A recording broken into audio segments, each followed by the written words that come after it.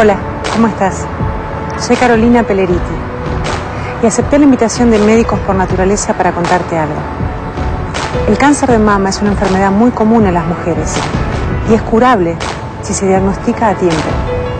Por eso es muy importante que hagas un control médico anual, un autoexamen periódico y la mamografía.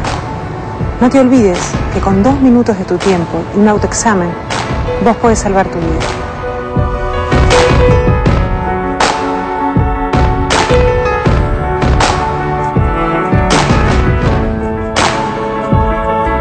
Bueno, imágenes de nuestro Facebook, ¿les recordamos la dirección, Roberto? www.tvpublica.com.ar barra Facebook Médicos. Bueno, decíamos que obviamente el tratamiento para aquellos que padecen el Parkinson es un tratamiento global, a todo nivel, pero siempre los talleres recreativos ayudan enormemente. Por eso es que decidimos visitar el taller de tango en el Hospital Ramos Mejía. La enfermedad de Parkinson es una enfermedad que afecta básicamente el movimiento. Eh, no tanto la fuerza muscular, pero sí la agilidad del movimiento. Esto lleva a que los pacientes tengan dificultades eh, en el desplazamiento, que en algunos estadios de la enfermedad comiencen a tener trastornos del equilibrio, que tengan lentitud al realizar los movimientos y las actividades de la vida diaria. Entonces, todas las técnicas de rehabilitación que se puedan poner en función de mejorar estos síntomas que trae la enfermedad son de mucha utilidad. Eh, un grupo de personas se acercó a nosotros planteándonos la posibilidad de eh, establecer técnicas de rehabilitación a través de lo que es la melodía del tango. El grupo nace como una como la aplicación de una serie de ventajas comparativas que nosotros encontrábamos en el tango, y es porque el abrazo del tango se basa en el paralelismo de los segmentos correspondientes del cuerpo.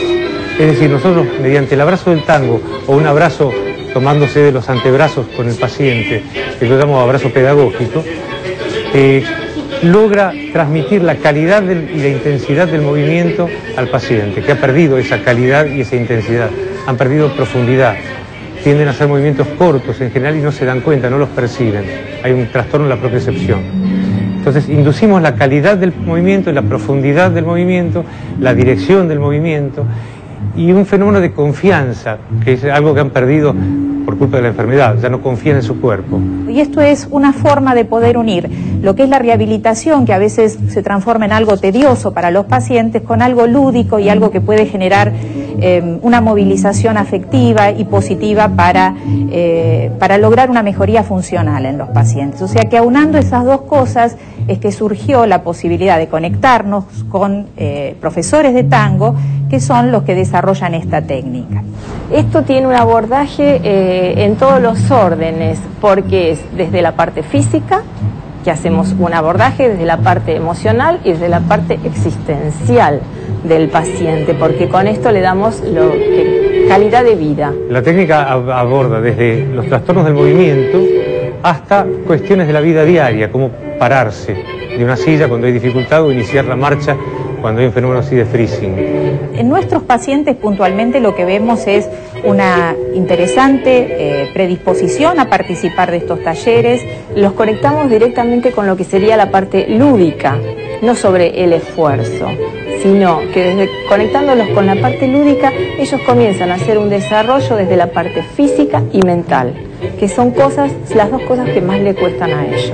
O sea que pensamos que, es algo muy útil, es útil poder ofrecerlo en el marco del hospital público, así que bueno, estamos muy entusiasmados en seguir adelante con esto.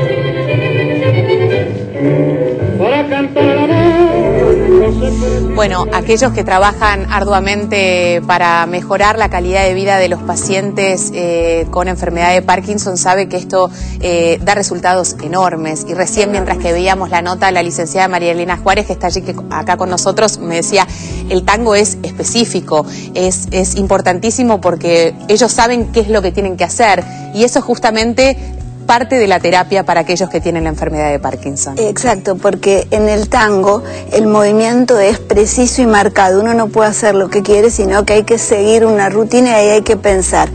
Todo movimiento que se piensa, que se programa, sale muchísimo mejor en el grupo de las personas que tienen Parkinson.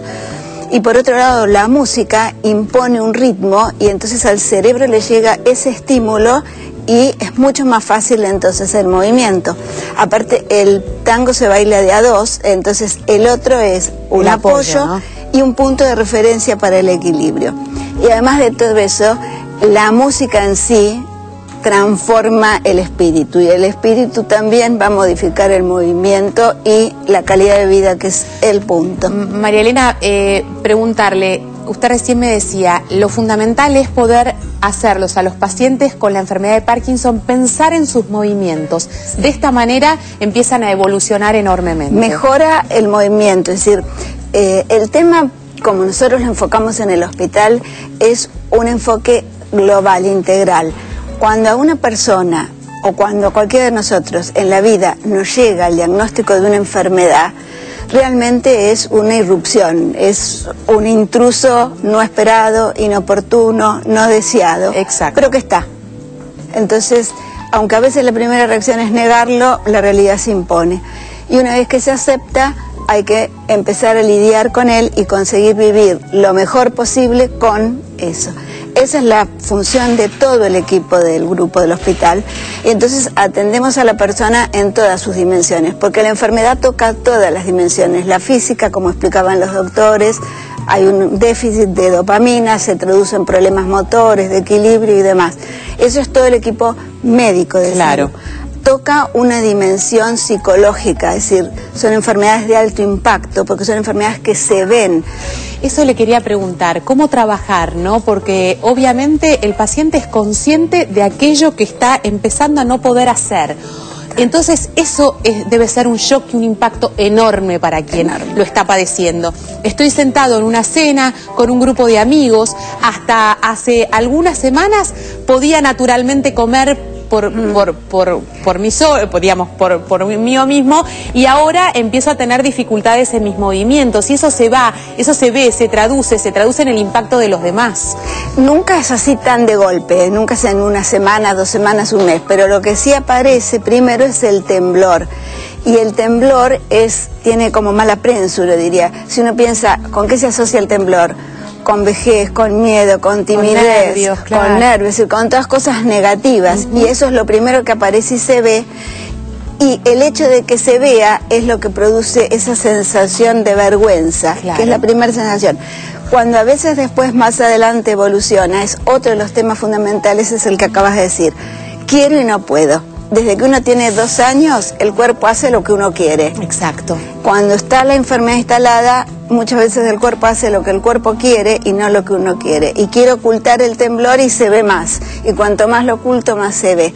Entonces, toda nuestra ayuda es acompañar a esa persona a poder manejar lo mejor posible ese problema, que es temblor, todo lo que acabamos de ¿Y describir. cómo se hace? Se hace con, Uy, con- se hace- se hace con la aceptación, se hace con la exteriorización de lo que a uno le pasa. Digo, Sí. imagino, ¿no? Me estoy tratando de poner en, en, en con el las lugar, dos cosas, con las dos cosas. Se llega a la aceptación, pero se hace al principio con la palabra. Con la palabra. Empezar a hablar, empezar a reconocer lo que siento, ponerle nombre, compartirlo, preguntar, es decir, informarse.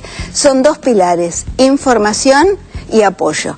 La información es el conocimiento de la enfermedad. Nosotros tenemos grupos que nos reunimos los segundos martes de cada mes durante todo el año, salvo julio, enero y febrero, Sí. para dar información. Son charlas informativas abiertas a la comunidad.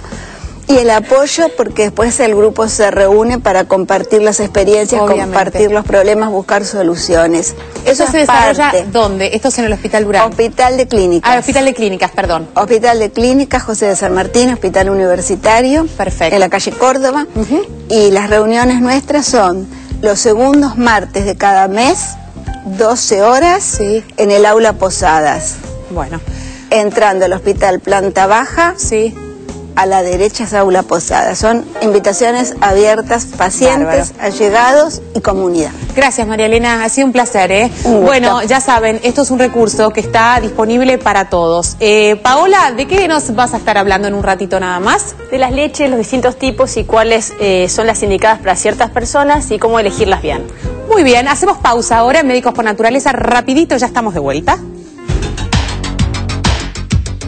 ¿Sabías que a medida que los síntomas empeoran, las personas con la enfermedad pueden tener dificultades para caminar o hacer labores simples.